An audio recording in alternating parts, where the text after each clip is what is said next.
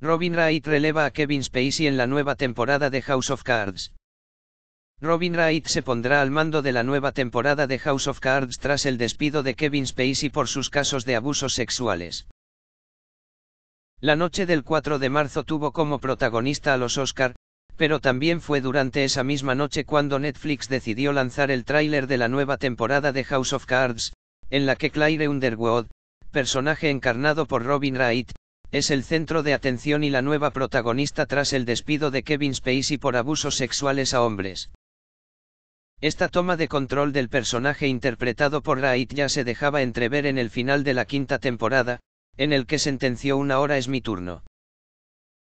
La nueva temporada consistirá en ocho episodios que se emitirán en otoño de este año, y según Ted Sarandos, responsable de contenido de Netflix, supondrá un cierre de la serie para los más fanáticos. Indirectas a la salida de Spacey.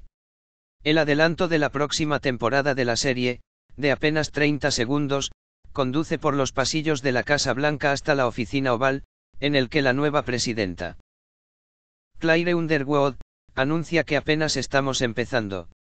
Una frase que traspasa el contexto de la serie y hace referencia al polémico despido de su predecesor, Kevin Spacey.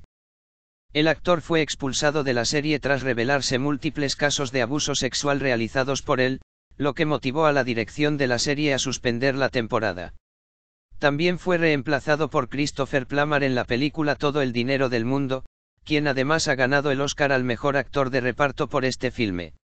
Spacey, por su parte, ya ha acudido a una clínica para tratar su adicción al sexo.